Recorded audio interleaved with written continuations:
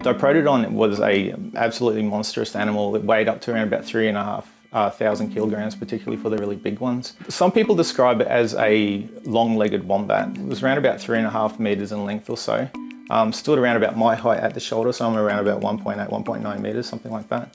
They had a huge skull. The skull on the biggest males got up to around about a meter or so in length. The exciting thing is that we've revealed something that no one else has ever figured out before for this particular animal. We drilled several samples um, from a diprotodon incisor tooth, and the incisor tooth is really important within diprotodons because they were, they were continuously growing tooth. As soon as it erupted from the young animal, it would not stop growing throughout its entire life. And what's good about that then is that it basically records what the animal was doing as it, as it grew.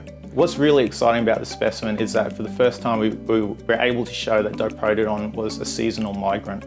And by that I mean that it had the ability to move um, outside of its probably normal home range and then come back to it on a seasonal type of basis. This is the only marsupial that we know of that ever had the ability to undertake seasonal migrations. The fact that it was a seasonal migrant makes us question then what other species were also migrating around at the same time. We know from the basis of other evidence that Australia at that particular point in time was a lot wetter, a lot more humid than what it is today.